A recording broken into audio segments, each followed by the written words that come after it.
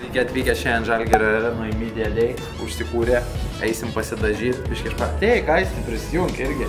Turim jauną vedėją, kuris irgi Sveiki. pareguliuosi šiandien mano YouTube kanale kažką komentarą. Būtinai parodysim. Tai va, važiuoja muškulsiai.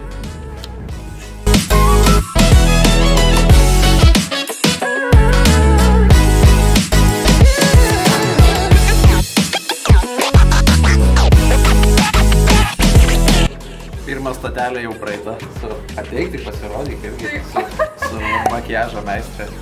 Užvaro, kad gražesnį neblizgėtumėm viską ir dar reikia pataisimų ir važiuojam, pasidažę, važiuojam toliau fotkinti. Atėjom prie stendo ten balto, paskui prie čia tamsaus stendo, tai va, nuotraukų metas dabar vyksta. Einam, pasifotkim. Reiks atsispaudimų palą padaryti, kad picai biškai iš, iš, iškėtų.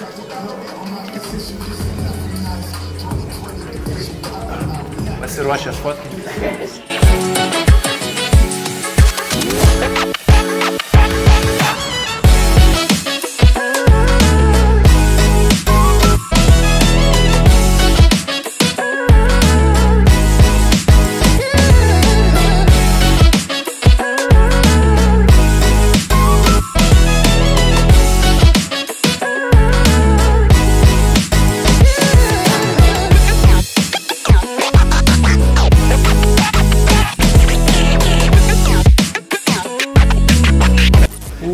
Išsirbė čia jie maksimaliai mane.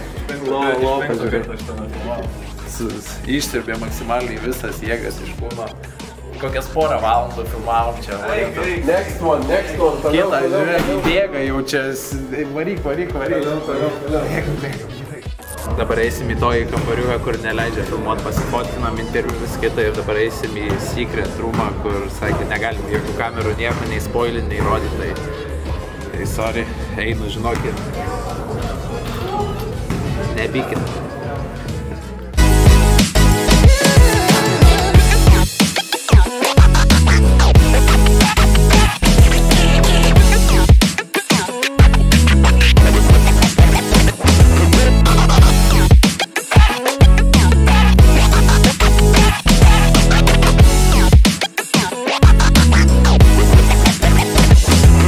Medija diena baigta, ta prasme, geriausia medija diena, kokia esu buvęs. Išsirbė irgi interviu, visokie judesėliai, tam secret room'e kokie.